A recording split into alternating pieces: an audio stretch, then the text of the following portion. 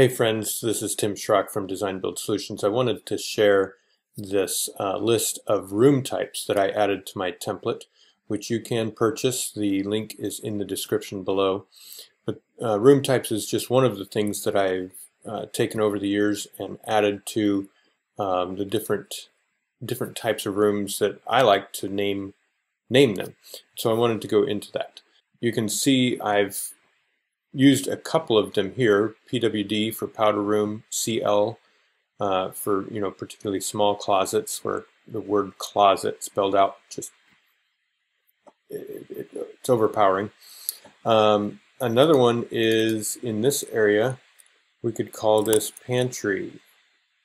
Oops, pantry. If we go up to the uh, second floor, you'll notice I've got bedroom one bedroom two. I've also uh, saved bedroom three and four, and just a generic bedroom works as well. Uh, w period, I period, C period for walk-in closet. Shower. Um, and if we were to, let's draw a quick wall here. Instead of master bath, we could make this WC for water closet.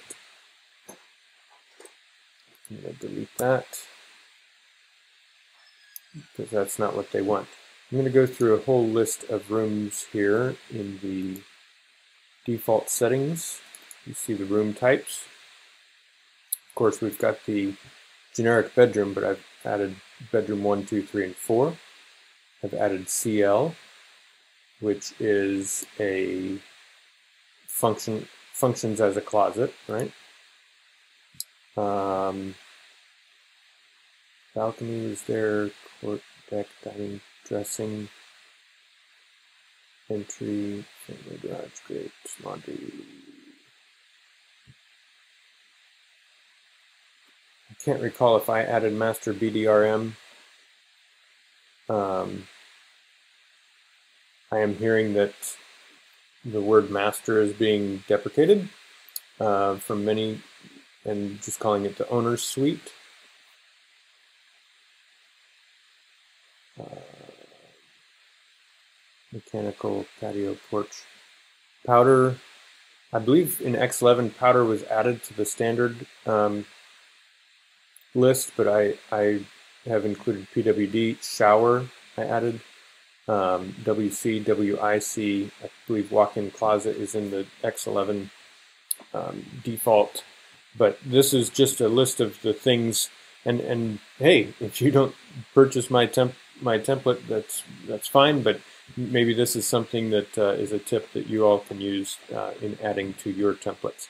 I find it, uh, you know, it just means that it's one less little um, click, less typing, less thinking I got to do helps helps me out, saves me some time. So I hope I hope it helps you. Hey, I appreciate the encouragement that you all have been giving me by subscribing, by clicking the like, hit that subscribe button and the notification bell. Check out my website, designbuildsolutionsllc.com, for information about how I can help and serve you as well. Otherwise, have a wonderful day. Have a wonderful weekend. I'll talk to you soon.